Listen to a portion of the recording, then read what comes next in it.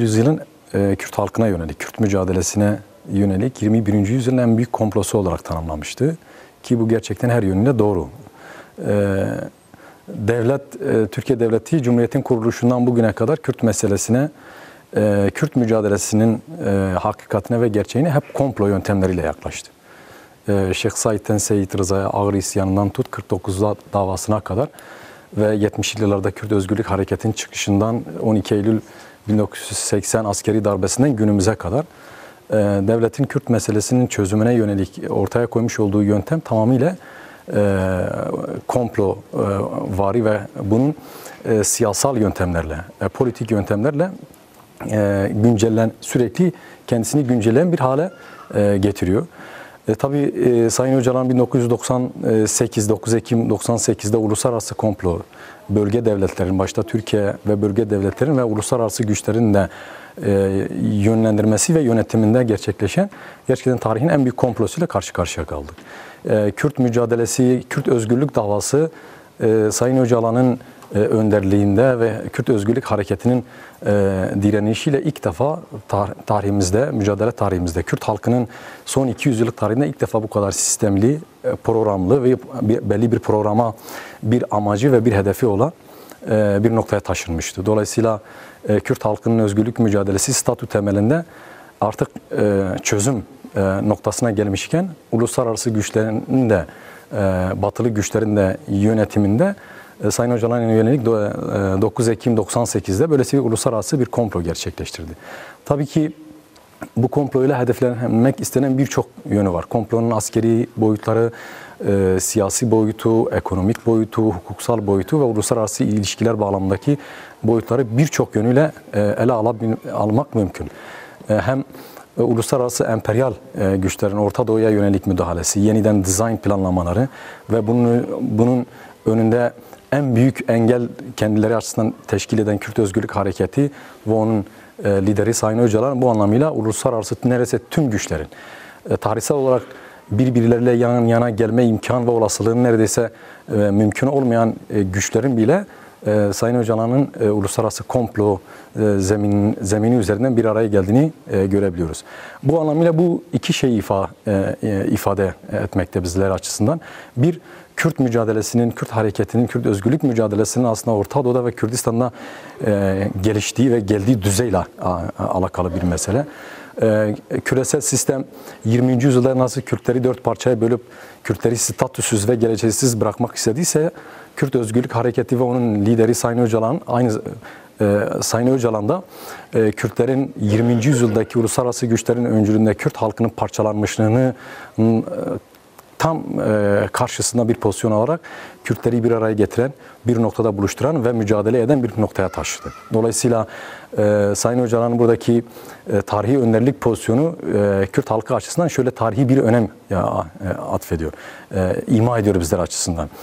100 yıllık parçalanmış olan Kürtler, Kürt halkı her yönüyle dil, kültür, mezhep yönleriyle dört de ulus devlet arasında parçalanmış Kürt halkını ilk defa bir önder, bir lider bir noktada buluşturdu ve mücadele eder hale getirdi. Dolayısıyla 21. yüzyıldaki komployu boşara çıkan bir Sayın Öcalan gerçekliği söz konusu küresel güçlerin Orta Doğu'ya yönelik çok stratejik planları söz konusuydu. 21. yüzyıla, yüzyıla girerken artık 20. yüzyılda inşa edilen başta 22 Arap ulus devleti olmak üzere Kürdistan'ın ve Kürt halkının statüsüz bırakılma perspektifi, e, denklemi artık e, Kürt Özgürlük e, Hareketi ve Kürt Özgürlük Mücadelesi'nin e, karakteriyle ve mücadele dinamizmiyle neredeyse e, başarısız e, olmaya yüz tutmuştu. Dolayısıyla bu anlamıyla hem perspektif bağlamında hem de e, Kürt halkının geleceğinin yönünü ve yörüngesini tayin etme ve etrafında bulunduğu halklarla demokratik bir zeminde ilişkiye geçme bağlamında Sayın Öcalan'ın paradigmasal düşünce sistematiği e, uluslararası güçlerin Orta Doğu'ya yönelik planları önünde çok tarihsel bir engel teşkil ediyor. Bu kadar küresel güçlerin bir araya yan yana bir arada ve yan yana oluşunun bu komplo içerisinde bir araya gelişinin esas karakteri biraz e, bununla alakalı. Dünyada hiçbir e, karşı kutupta e, yer alan hiçbir lider ya da hiçbir öndere uluslararası sistem ve batılı güçler e, Avrupa sistemi içerisinde böyle istenmeyen insan, istenmeyen kişi olarak bir tanımlaması söz konusu değil. Başta Lenin olmak üzere. Küresel sistemin karşısında, kapitalist sistemin karşısında e, sosyalist ve Sovyetler sisteminin en önemli figürü olan Lenin'e dahi, e, e, Hümeyni'ye dahi e, uluslararası güçler istenmeyen e, bir insan tanımlamasını yapmalılar. Ama Sayın Öcalan'a bu e, Sayın Öcalan açısından ve Kürt hareketi açısından tarihsel bir ilki teşkil ediyor. Dolayısıyla küresel sistemin sistemsel olarak ve planların önünde temel stratejik engel olarak gördükleri yegane şahıs bugüne kadar en azından son 200 yıl denklemleri içerisinde ele aldığımızda ve bunun başında Sayın Öcalan geliyor. Bunun da elbette ki Sayın Öcalan'ın sadece mücadele eder ya da mücadele eden bir halk gerçeğini bir, e, ortaya çıkaran bir e, e, düşüncesinden ziyade e, Orta Doğu'daki 200 yıllık meselelere çözüm geliştirme, çözüm önerileri sunma ve toplumların ve halkların aslında yönünü bu çözüm perspektifine doğru evriltme ile alakalı. E, dolayısıyla bu kadar küresel sistemin dikkatini çeken ve küresel sistemin tüm gücünü üzerinde yoğunlaştıran bir noktaya taşıdı. Bu e, e, batılı güçler açısından emperyalist ve e, Orta Doğu'da tekrardan hegemonyayı yeniden inşa etmek isteyen güçler açısından elbette ki çok tarihi bir adım olarak ifade edebilir. Tabii bu anlamıyla uluslararası küresel sistem ve Sayın Hocaların 9 Ekim'de işte iki zemin tarifi yapması, dağ ve Avrupa e, tarif yapması Sayın Öcalan'ın stratejik önderliği ve varoluş e, kendisini var, e, var kıldığı temel düşüncesi Kürt meselesine, Kürt sorununa ve Orta Doğu sorununa demokratik çözüm arayışıyla alakalı bir mesele. Dolayısıyla e, uluslararası komplonun başlangıcından günümüze kadar 26 yıllık e, İmralı e, zaman e, dilimine de baktığımızda Sayın Öcalan'ın 99'dan bu yana e, bu yana temel perspektifi Kürt meselesine ve Orta Doğu'daki kangrene dönüşmüş, adeta kör düğme dönüşmüş meselelere e, dair e, demokratik ve siyasal çözüm perspektifi. Hiçbir zaman bu perspektifinden ve çözüm, bu çözüm önerilerinin dışında herhangi bir denklem ortaya koymadı. Ve e, uluslararası güçler, batılı güçler işte ve e, Türkiye dahil olmak üzere e, bu demokratik çözüm perspektifine daha fazla e, savaş ve şiddet denklemini yayarak başta Orta Doğu olmak üzere Kürdistan Kürdistan merkezli bütün bu e, demokratik arayış düşüncesine tecridi ve uluslararası komplonun biçimlerini ve yöntemlerini daha da derinleştirerek zengin teknikler ortaya koyarak 26 yıldır uluslararası komplonun çeşitli biçimlerde biçimlerde sürdürülmesine e, devam ediyor. E, tabii ki bunun en önemli ayaklardan bir tanesi bugün e, e, Türkiye ve Türkiye iktidarının bu komployu e, nasıl sürdürüldü ve nasıl sürdürebilmesinin e, imkan ve olanakları nasıl ortaya koyduğuyla alakalı bir mesele.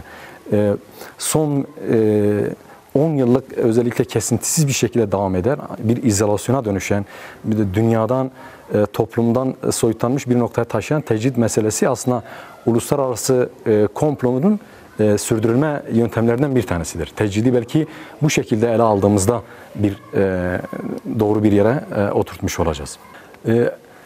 Elbette Sayın Öcalan 99'da e, uluslararası komployla esir alındığında bir tespit yapmıştı ki e, günümüzde bunun en yakıcı sonuçlarıyla karşı karşıyayız.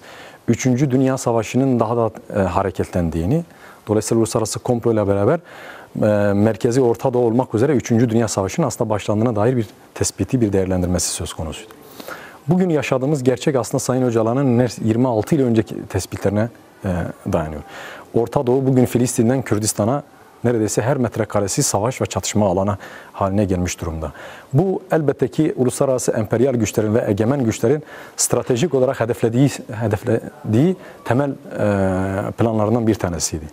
E, bu, bu anlamıyla Kürt meselesi, Kürt sorunun e, çözümü ya da çözümsüzlüğü Orta Doğu'nun kaderini değiştirebilecek bir, bir noktada duruyor. E, Kürt meselesinin ve Kürt sorununun Kürdistan zemininde ve Orta Doğu zemininde çözümü Orta Doğu'daki 200 yıllık tarihsel meselelere ciddi anlamda demokratik çözüm bağlamında bir yol açacaktı. Fakat Sayın Öcalan bunun liderliğini, bunun öncülüğünü teşkil ederken, ortaya koyarken e, uluslararası güçler ve Türkiye dahil olmak üzere Türkiye bunun bu ayağın en önemli parçalarından bir tanesi.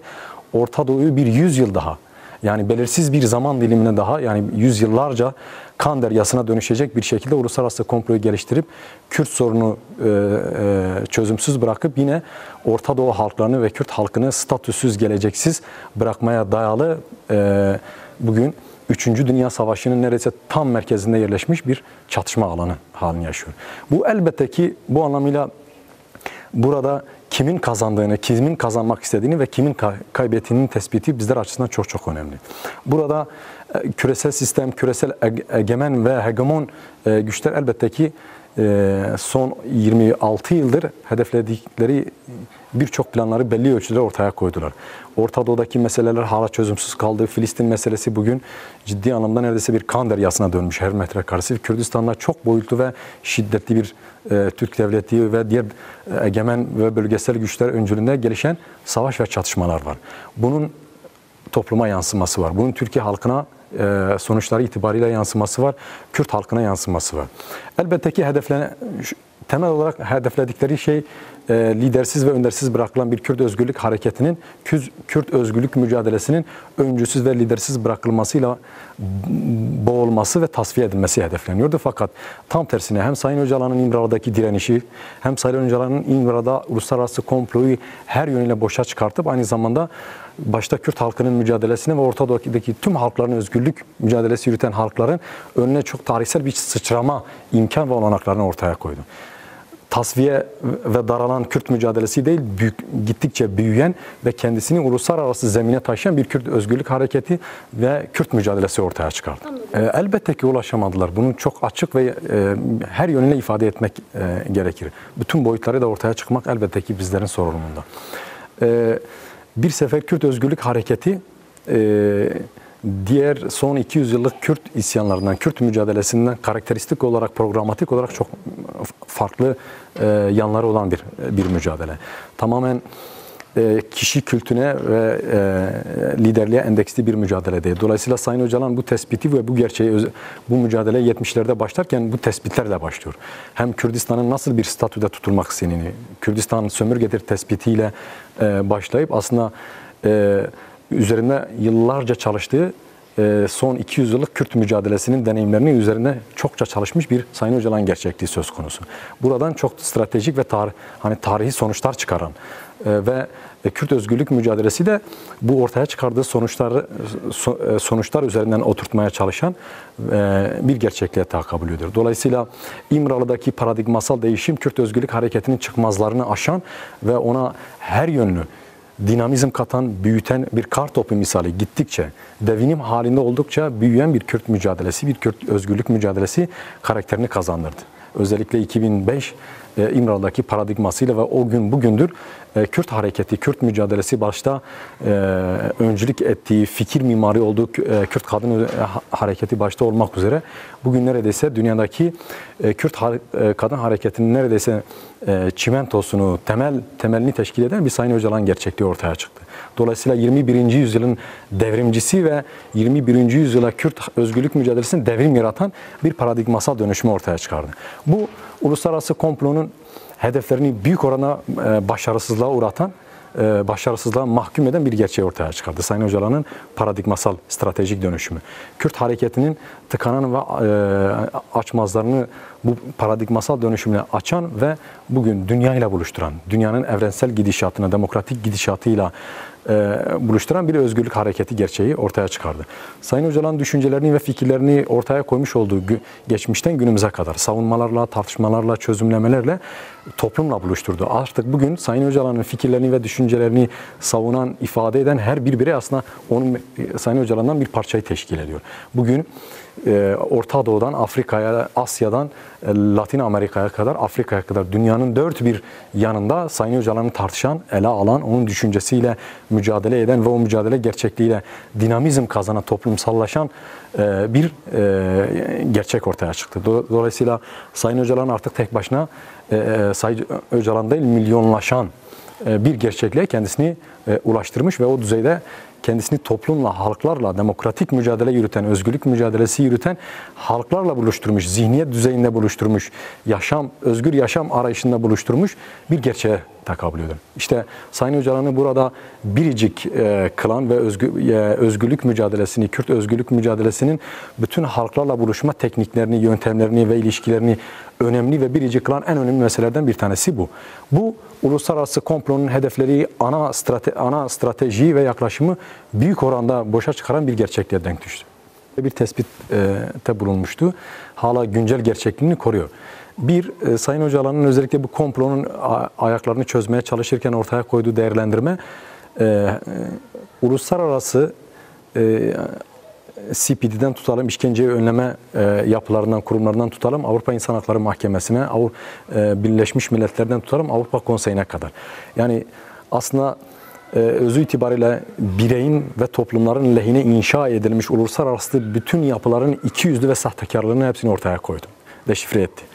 Aynı zamanda Türkiye devlet hukukunun temel kanunlarını ve hukukunu da deşifre etti. İşte Sayın Öcalan'ın düşüncesi e, e, bu anlamıyla toplumla buluştuğunda, çözüm önerileri toplumla buluştuğunda bu kangrenleşmiş ortada hiç kimsenin aslında dünyanın bile çözüm getiremediği, çözüm oluşturamadığı böylesi siyasal, toplumsal meselelere dair Sayın Öcalan'ın çözüm gücü olma hali uluslararası komplonun sürdürülme biçimi olarak tecridi devreye koydu. Dolayısıyla öyle bir noktaya taşıdı ki Sayın Öcalan kendisini bugün artık e, tek bir düşüncesi, tek bir sözü, tek bir çözüm denklemi, çözüm önerisi neredeyse 10 yıllarca e, mücadele yürüten halklar açısından neredeyse bir ışık olma, bir rota olma e, gerçek, gerçeğini ortaya koyuyor. Dikkat edin 1948'den bugün günümüze kadar İsrail-Filistin meselesi neredeyse bir birbirini boğazlaşma ve çatışma haline dönüşmüş durumda.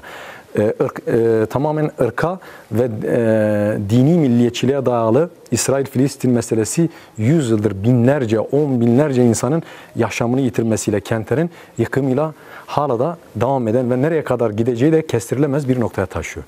Dünya İsrail ve Filistin meselesine iki devletli bir çözüm önerisinin dışında bugüne kadar ortaya koymuş olduğu hiçbir çözüm önerisi yok. Fakat 100 yıldır iki devletli çözüm önerisi İsrail ve Filistin meselesinin birbirini daha çok boğazlamanın ötesine geçmiş e, geçen bir noktada durmuyor. Bunun dışında tek seçenek sunan Sayın Öcalan'ın kendisidir.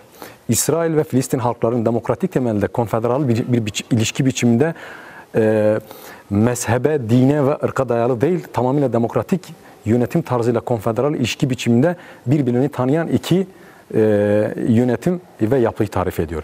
İşte Sayın Öcalan bugün toplumla buluşmuş olsaydı, düşüncesi bugün buluşmuş olsaydı belki neredeyse sayısı 60 bini bulan e, ve nereye evrileceğini kestireme, kestiremediğimiz İsrail-Filistin meselesi artık bir soykırım ve bir katliama dönüşmüş bu meseleye çok daha güçlü bir şekilde onun düşüncesi etrafından milyonlarca insan bir arada buluşabilirdi ve onun çözüm önerilerini dünyaya dayatabilirdi. İşte tecrit tam da bu, bu anlamda uluslararası güçler güçler açısından bir şey denk düşüyor. Bir gerçek gerçekliğe denk düşüyor. Bu kadar tecridin mutlak hale getirilmesi, mutlaklaştırılması ve iletişimsiz ve izolasyon noktaya taşınmasının arkasında aslında artık e, Sayın Öcalan'ın e, ada hapishanesinde tutulması küresel güçlerin bu komployu sürdürme e, e sürdürme e, arayışına yetmiyor. Onun için tecridi bu kadar derinleştiren ve izolasyonu e, sürdürmek isteyen bir gerçekliğe denk düşüyor. Fakat Sayın Öcalan bütün hem Orta Doğu'ya yönelik stratejik, tarihsel olarak hem de Kürt meselesinin çözümüne dönük tarihsel tespitlerini ortaya koydu savunmalarıyla ve düşünceleriyle. Dolayısıyla bugün işte dünyanın bütün dinamiklerinin, bütün gücünün ve bütün ulus devletlerinin çözümsüz kaldığı bu meseleye bu meselenin tek alternatif gücü olan Sayın Öcalan'a bütün halkların, başta Kürt halkı olmak üzere bütün halkların, dilenen halkların yönünü vermesi gerekiyor. İşte tecridi kırmak ve, ve Sayın Öcalan'ın özgürlüğünü hedeflemek, düşüncelerinin, fikirlerinin güncel gelişmeler dahi e, olmak üzere e, Orta Doğu'daki meselelere ve Kürt sorunun çözümüne dair ne düşündüğünü toplumla buluşması bu kadar çok tarihsel bir e, şey düşüyor. Bir noktada e, taşıyor kendisini. Onun için işte bizlerin de mücadelesi, bizlerin de Sayın Öcalan'ı özgürleştirme ve tecidi kırmaya yönelik bütün çabamızın, bütün arayışımızın aslında İmralı'ya dönük olması, İmralı'daki o tecrit sistemini dağıtmaya dönük olmasının arkasında böylesi bir gerçeklik var. Bu tek başımıza bizim bir arzumuz, bir ihtiyacımız ya da Kürt halkının bir önceliği olmaktan ziyade bugün Filistin'den tutalım Orta Doğu'daki bütün ezilen, bütün mücadele eden halkların aslında yönünü çevirmesi gereken bir sistemi, bir gerçekliği tarif ediyor. Onun için biz diyoruz tecidi kırmak, tecidle mücadele etmek tek başına Kürt halkının ve Kürt kurumlarının bir meselesi değil. Bugün Türkiye halkları başta olmak üzere bütün Orta Doğu'da ezilen kesimlerin aslında tecrit sistemine karşı ve Sayın Öz, Öcalan, e, Sayın Öcalan'ın özgürlüğünü hedeflemesi gereken bir mücadelenin içerisinde e, imkanları el verdiği ölçüde bu mücadelenin bir parçası e, olmaları gerektiğini düşünüyoruz.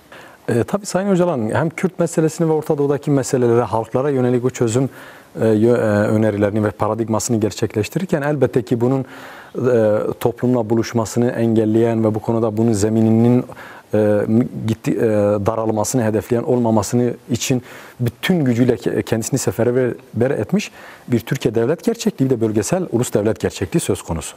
Bu anlamıyla 500 yıllık bir karaktere ve bir deneme sahip Orta Doğu'daki e, onlarca ulu- ulus devlet e, Sayın Öcalan'ın fikirlerinin toplumlarla, halklarla buluşmasının önüne geçmek için her türlü bir mücadelenin içerisinde. Bu elbette ki bu anlamıyla e, demokratik ulus ve halkların bir birlikte kendi özgürlüğüne, kendi statüsüne, kendi bir aralığı ve demokratik e, yaşam biçimlerine dayalı olarak birlikte yaşam projesini e, sunmak ve bu konuda toplumla buluşturmak, yaygınlaştırmak elbette ki bizlerin sorumluluğunda. Bu anlamıyla e, yeterli olduğumuz e, e, elbette ki söylenemez. Bu konuda e, hani bir birçok yönüyle e, eksikliğimizin e, olduğunu ifade etmek gerekiyor. Fakat e, Sayın Öcalan'ın bu değerlendirmeleri, bu görüşü yani hem e, demokratik bir e, model, demokratik bir dünya, demokratik bir yaşamın, e, siyasal ve politik bir yaşamın nasıl olabileceğine dair e, kuram, teo- e, teori e, tezleri ve paradigması bugün Rojava'da artık bir mucizevi bir mucize olmaktan çıktı. Yerleşik, bilindik bir mekana dönüştü. Bir zemine ve bir mekana dönüştü. Ve 10 yıllık neredeyse 10 yılı aşan bir deneyime de dönüştü. Dolayısıyla aradığımız özgür yaşam artık bir mucize değil. Yanı başımızda Rojava'da 12 yıllık deneyimiyle her yönüyle bir yıldız gibi orada parlıyor. Ee, İşte Orta Doğu'yu bu kangren halinden, bu krizli halinden çıkaracak olan şey Sayın Öcalan'ın demokratik ulus halkların bir arada birlikte yaşayabileceği ve bu konuda tarihsel olarak e, yüzyıllarca, bin yıllarca aslında halkların bu şekilde yaşadığı gerçekliğinin güncel şekilde uyarlanması bugün Rojava modelidir. Elbette ki bunu e, Orta Doğu ve Kürdistan'ın her zeminine yaymak, e, halklarla buluşturmak e, ve bu konuda onların e, doğru anlamasını ve kavramasını sağlamak elbette ki bi- bizlerin. Her yönlü bu konuda bütün imkan olanaklarımızı, bilgimizi ve yeteneklerimizi kullanmak elbette ki bizim elimizde. De- dediğimiz gibi bu bir yeni yaşam mücadelesi, bu bir devrim mücadelesi, bu e, aslında Orta Doğu'nun bin yıllarca yaşadığı ama son 600 yıllık ulus devletlerle beraber bu halkların aslında öz e, bilinci, bilincinin e, tahrip edilmesiyle aslında unutturulmaya çalıştığı bir gerçekliğin Sayın Öcalan şahsında bir sisteme, bir programa, bir yaşam modeline nasıl dönüştüğünün ger- e, gerçekliğini biz aslında ifade ediyoruz. Yani bilinmeyen, hiç olmayan yeni bir e, mucizevi bir şey e, yaratmıyoruz aslında. E, Sayın Öcalan e, bu anlamıyla bu düşünceyi, demokratik ulusu, demokratik yaşamı, bir arada yaşamayı e, Orta Doğu gerçekliğinde e, hakikatinin ne olduğunu ortaya koydu ve bunun en önemli e, noktalarından bir tanesi Rojava. Dolayısıyla Orta Doğu Rojavalılaşmalı.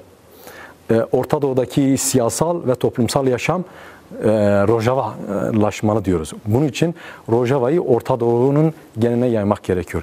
Uluslararası emperyalist ve ulus devletin e, modeli İsrail-Filistin'in yöntem ve teknik e, İsrail e, modeliyken bizim ve Sayın Öcalan'ın aslında Orta Doğu'ya e, sorunlarına çözümü Rojava modelidir. Bu kadar belirgin, bu kadar açık, güncel olarak böylesi iki zemini ve iki şeyi tarif edebiliriz. Uluslararası komployla e, ve Sayın Öcalan'ın e, İmralı'ya getirilmesiyle Türkiye halklarını, Türkiye halkları aslında zincire bağlandı. Bunu çok net bir şekilde ifade edebiliriz. E, yani Türkiye'deki e, toplumsal, siyasal yaşam, ekonomik e, zenginlik Türkiye'yi Orta Doğu'dan model bir ülke e, po- potansiyelini ta- e, taşıyabiliyor. Böylesi potansiyel bir re- rezervi var. Fakat uluslararası komplo ve Kürt sorununda çözümsüzlük stratejisi bugün başta Türkiye olmak üzere ve Türkiye halklarını adeta zincirde, zincir halinde tutan, zincire vurulmuş ve prangaya tutulmuş bir noktada tutuyor. İşte bugün ülkenin yaşadığı e, siyasal, toplumsal ve ekonomik krizlerin aslında bunun Kürt sorununun çözümsüzlüğüyle, çözümsüzlüğüyle ne kadar alakalı olduğunu her yönüyle e, görüyoruz. Bugün Türkiye'de yaşanan siyasal kriz e, ve adeta artık dibi olmayan bir ekonomik kriz kriz aslında Kürt sorunun çözümsüzlüğünden kaynağını alıyor. Bugün Türkiye Türkiye halkları ekonomik krize karşı refleks göstermeye çalışıyor fakat sonuçlarına gösteriyor. Fakat bu ekonomik krizi tetikleyen, derinleştiren ve bunu bir sürekli bir yön, yönetim modeli haline getiren esas meselenin Türkiye'nin ısrarlı ve özellikle bu iktidarın ısrarlı bir şekilde e, ve ısrarcı bir şekilde Kürt meselesini çözümsüz bırakarak bütün zenginliğini, bütün yatırımlarını asas savaşa yani, e, yapmasıyla alakalı bir şeydir. Onun için mesela biz e, altını çizerek söylüyoruz. İtiraz edeceksek ekonomik krizin, siyasal ve toplumsal krizin sonuçlarına değil, esas kökenine itiraz etmemiz gerekiyor. Onun için başta Türkiye halkları olmak üzere ilk etapta e, savaşa, savaşa harca, harcanan bütçeye ve Kürt sorununun çözümsüzlüğüne e, çözümsüz bırakan siyasal, politik ve askeri yöntemlere Türkiye halklarının itiraz etmesi gerekiyor. İşte ekonomi düzelecekse, Türkiye toplumsal ve siyasal olarak rayına belli bir raya otura, e, oturtulacaksa eğer e, bunun da başta Kürt meselesinin çözümü ve 26 yıldır devam ettirilmek istenen uluslararası komplo ve tecrit sisteminin aslında tasfiye edilmesiyle, dağıtılmasıyla ve Kürt sorununun Sayın Öcalan'ın öncülüğünde demokratik temelde çözüm iradesini ortaya koymasıyla alakalı bir mesele. Ee, Türkiye'de aklı başında e, bazı insanlar Türkiye'nin geleceğine dair, stratejik geleceğine dair bazı tespitler yapabiliyordu eskiden, geçmiş yıllarda. Kürt sorunu çözememiş, Kürt sorunu çözemeyen ya da Kürt, sor, Kürt sorunun çözümüne savaş ve şiddet sarmalıyla yaklaşan bir Türkiye'nin e, Türkiye'yi neler beklediğine dair bazı değerlendirmeleri söz konusu da hatta öngörüler de ortaya koyuyordu. 2050 yılına yani 21. yüzyılın ortalarına doğru Kürt sorunu çözememiş bir Türkiye'nin parçalanmayla, dağılmayla e, karşı karşıya kalabileceğini öngören, düşünen ve bu konuda analizler yapan e, aklı başında insanlar söz konusuydu. Fakat bugün hem e, bu riski, bu tehlikeyi gören e, bir akıldan uzak, tamamıyla AKP, MHP öncülüğünden gelişen bir iş, işportacı bir siyaset, güncel işportacı bir siyaset, pragmatist bir siyaset söz konusu ve e, tecridin devam ettirilmesiyle kendi hukukunu ve kanunlarını da aslında yok sayan, inkar eden, e, yerleşik devlet sistematiğini bile tahrip eden e, tamamıyla seyyar bir devlet gerçekliğini ortaya çıkardı. Dolayısıyla buradan Türkiye bir gelecek çıkmaz ve çıkmayacak da. Bugün e, Filistin'den başlayıp Lübnan'a sıçrayan ve e, İsrail ile e, İran arasında neredeyse fiziki savaş sarmalına dönüşen bölgesel savaş elbette ki Türkiye'yi e, Türkiye bunun dışında kalamaz ve kalmayacak. Coğrafik olarak da kalmayacak. Siyasal ve askeri olarak da kalamayacak. Dolayısıyla e, bu anlamıyla e, Türkiye'nin önünde çok tarihi ve kritik bir an duruyor. Kürt meselesi, Türkiye Kürt meselesi, Kürt sorunu e, çözümüne nasıl yaklaşacak? Bugüne kadar e, başta AKP, MHP iktidarı olmak üzere ondan önceki bütün iktidarlar Kürt meselesine ve savaş ve şiddeti derinleştirerek e, yaklaştılar. Her türlü yöntem denendi. Kürt sorunun çözümüne, yöntemlerine dair inkarcı, imha ve savaş denklemlerinin bütün parametreleri ortaya ortaya kondu. Ama başarmak istedikleri bir şey vardı. Kürt mücadelesini ve özgürlük mücadelesini tasfiye etmek ve başarılamadılar. Bugün büyüyen bir Kürt mücadelesi söz konusu. Kürt özgürlük hareketi gerçeği söz konusu. Ee, yoksulluğuyla e, debelleşen, krizlerle debelleşen ve artık komplo teknikleriyle, e, yöntemleriyle, dar, siyasi darbe e, biçimleriyle e, yönetilmek e, isteyen, e, yönetilen bir Türkiye gerçekliği söz konusu. İşte Türkiye burada bir karar vermeli. Bir karar vermek durumunda. Evet, Türkiye halkları bir karar vermek durumunda bu bu kadar e, eşiğe gelmiş, kavşağa gelmiş, kritik bir kavşakta e, e, duran bir noktada Türkiye halkları başta Kürt meselesinin demokratik çözümü olmak üzere Sayın Öcalan'ın üzerindeki tecridin tecrid sisteminin tasfiyesine yönelik elini taşın altına koymalı ve sorumluluk almalı. İnisiyatif geliştirmeli. Türkiye'yi düze çıkaracak olan, demokratik bir zemine taşıyacak olan ve geleceğini belirsiz kılmaktan çıkarıp geleceği belli e, olan bir nokta taşıyacak olan esas gerçeklik de budur. Bunun dışında savaşı daha da derinleştiren, şiddeti daha da bölgesel adeta bu savaşa e, daha fazla benzin döken bir pozisyona tutan bir iktidar e, gerçeği e, Türkiye'yi e, uçurma ve felakete sürükleyecek. Bunu e, bir Kürt olarak değil, bir Kürt siyasetçi olarak ifade etmiyoruz. Ge- Bölgeyi biraz ana- analiz etmeye çalışan, okumaya çalışan bir insan olarak ifade ediyoruz. Dolayısıyla Türkiye halkları ve Türkiye demokrasi güçleri, e, muhalefet partileri, örgütleri e, gerçek bu hakikati ve bu gerçeği e, görmeliler. Onun için biz ısrarla söylüyoruz. Bu mesele Kürt sorunun e, demokratik çözümü, Kürt meselesinin çözümü. Kür- elbette ki Kürtler hakkını, hukukunu aramak için mücadele ediyor, edecek. 200 yıl daha e, bu devam ederse bu baskıcı sistem, bu rejim bu mücadele e, büyüyerek devam edecek. Bu konuda herhangi bir problem yok. Herhangi bir geri adım, at- Kürt halkı gerçekliği açısından bir geri adım atış da söz konusu değil. Bu anlamıyla kendi geleceğini, kendi özgürlük iddiasını ortaya koymuş, rüştünü ispatlamış bir halk gerçekliği söz konusu. Duruyor, bu mücadeleyi sürdürüyor. Fakat bu konuda Türkiye halklarının, Türkiye e, Türkiye demokrasi güçlerinin bu meseleyi ele almada ve bu meselenin mücadelesini sürdürmede e, ye- yeterince e, doğru ele almadıklarını, bu, mücadele katılımında ciddi, e, sınırlı kaldıklarını ifade edebiliyoruz. Cesaretsizlik mi söz konusu? Ya bu tek başına cesaret ve cesaretsizlikle a- alakalı e, belki ele almak çok doğru olmayabilir fakat bu konuda e, bizce şu yani e, Türkiye'yi bu felaketten bu uçurumdan çıkarabilecek temel meselelerin meselelerin ve önceliğimiz önceliklerinin ne olduğuna dair bir problem söz konusu. Yani az önce de ifade ettik ya mesela çok ciddi e, sürekli gündem halinde olan bir ekonomik yoksulluk e, kriz söz konusu fakat sürekli ekonomik krizin sonuçları üzerinden mücadele eden, tespit yapan ve bu konuda arayış içerisinde olan bir gerçeklik var. Halbuki biz bu konuda bunun kaynağının aslında Kürt sorunun çözümsüzlüğü tetikle e, krizi Kürt sorunun çözümsüz kalmasının tetiklediğini, e, İmralı'daki tecrit sisteminin aslında bu meseleyi tetiklediğini, büyütünü, derinleştirdiğini kavradığımız anda, bildiğimiz oranda bu mücadelenin aslında esas kaynağının nereye e, olduğunu ve olabileceğine dair bir e, ortak mücadele zeminini yakalayabiliriz. Bu anlamıyla bir eksiklik var hala. E, öncelikler konusunda problemler var. Fakat dediğimiz gibi başta işte e, 13 Ekim'de yapacağımız Ahmet mitingi olmak üzere işte hem Kürt halkının mücadelesini hem de tüm Türkiye demokrasi güçlerini, Türkiye halklarını bir zeminde, Kürt sorunun demokratik çözümü zemininde ve e, Sayın Hocaların üzerindeki tecridin kaldırılması ve özgürlüğün hedeflenmesi temelinde birleştirmeye çalışıyoruz. Türkiye'nin temel meselesi Kürt sorunun çözümsüzlüğüdür.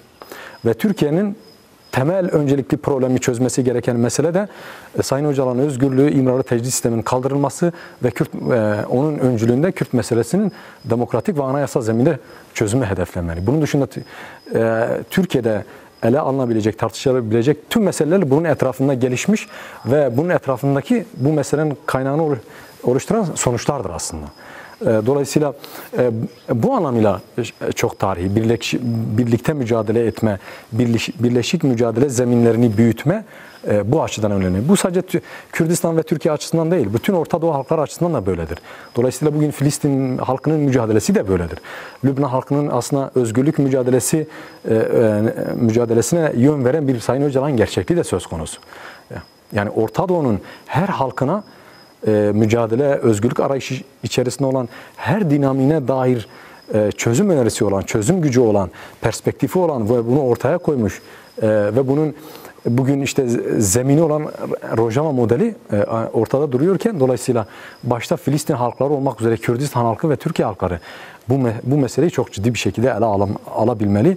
Orta Doğu'da ulus e, devletlerin ve emperyal güçlerin stratejik planlarının bir parçası olarak onlarca, yüzlerce devletin inşası Orta Doğu halklarını cehennem, e, cehennemi yaşatmaktan başka bir şeyi dönüştürmedi ve dönüştürmeyecek. Dolayısıyla işte e, buradan çıkışın bu cehennem e, ve zeminden çıkışın yegane adresi, odağı ve düşünce önderi Sayın Öcalan'ın gerçekliğidir. Ee, biz e, miting e, çağrısını yaparken e, deklarasyonumuza da ifade ettik. E, biz uluslararası komploya ve onun devam ettirilme yöntem ve tekniklerine karşı Kürt halkı, Kürt halkının dostları e, ve demokratik çözümden yana olan tüm kesimler olarak direniyoruz. Komploya karşı direniyoruz. E, komplo bugün tecride sürdürülmek isteniyor ve tecride karşı da direniyoruz. Ve tecrid sistemini dağıtmaya, tasfiye etmeye e, yönelik gücümüz de var. İnancımız da var ve o gücümüz de var. Dolayısıyla Bu anlamıyla 13 Ekim'de Ahmet'te bir miting düzenliyoruz.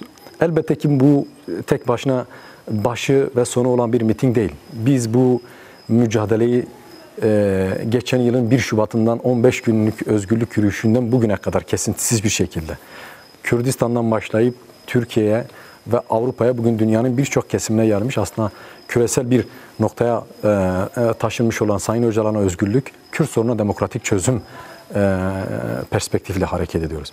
İşte onun için diyoruz ki dünya, bölge, Türkiye ve Kürdistan çok tarihi ve kritik bir eşikte ve bir aşamada. E, Kürt meselesi artık 20 Türkiye açısından 21. yüzyılın ortalarına taşınamayacak bir noktaya gelmiş durumda.